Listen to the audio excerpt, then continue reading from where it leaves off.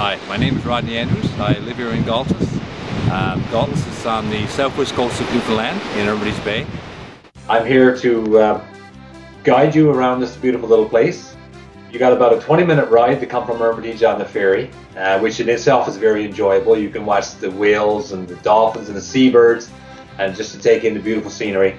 And then when you come around the point, of course, it's like you're stepping back in history because the little quaint village is hardly touched and uh, the Gaultois is in like four places. The locals call there's four different sections. You got the the rooms where the ferry lands. You got the point where the hotel is. Then you've got the uh, the bottom. That's another little place in itself. And then you have the valley, which is the highest point, believe it or not. And uh, you walk about Gaultois and you can see all kinds of simple. Everything is unchanged and still looks like the old days and there's a lot of uh, historic places like the like say the fish store. You've got whalers island the old catholic church which is the oldest building in the community. Do the trail which is very nice.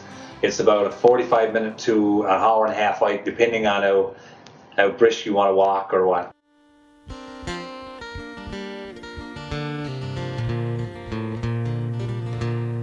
Four rocks in front of the harbor Look out, the point and the room. The bottom, the valley, and Krantz Cove means home, sweet home to me. Is where I was born and raised in my youth, and a time that I'll never forget. This is a, a Newfoundland killick that the early fishermen used to use to uh, anchor their nets or, or just as a ba basic anchor. The weight of the uh, anchor is just a basic rock that they would use to uh, keep it down.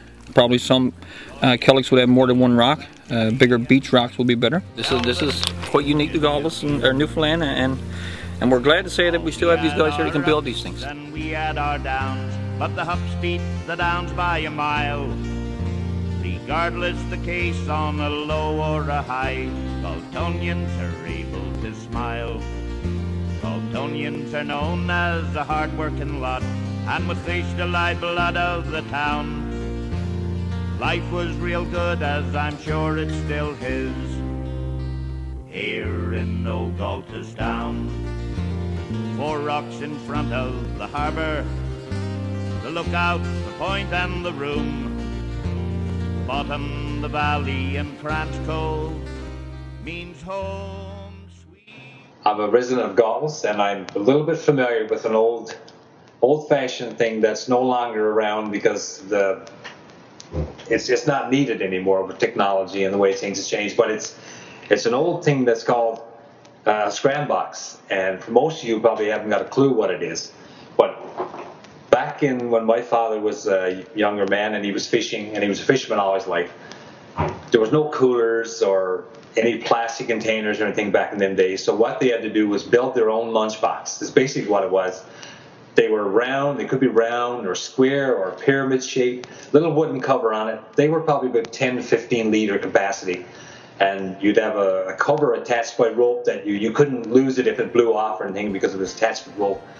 And in that scram box, the lady of the house would pack that scram box the night before, or probably in the morning before he left. And it would consist of enough food to last the fisherman for probably eight or ten hours on the day on the water means home, sweet home to me. Is where I was born and raised in my youth, and a time that I'll never forget. The fun that we had and the pranks that we played are still being talked about yet. My friends were the chaps